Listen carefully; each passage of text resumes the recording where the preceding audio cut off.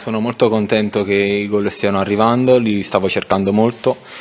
Il mister mi chiedeva di lavorare un po' più vicino alla porta, di inserirmi e ci sto credendo su ogni pallone. No, quello di Massimo, ci abbiamo parlato, era un assist. Dobbiamo lavorare su noi stessi, dobbiamo essere contenti di questa vittoria, ma dobbiamo rimanere con testa bassa e piedi impiantati per terra perché il campionato è lunghissimo ed è molto difficile. Abbiamo visto che la classifica è molto corta, basta che perdi o pareggi una partita e ti puoi ritrovare ottavo, quindi dobbiamo continuare così, essere squadra come penso che abbiamo dimostrato oggi e continuare così. Noi dobbiamo cercare di vincerle tutte, stiamo dimostrando di essere una grande squadra come dicevo prima.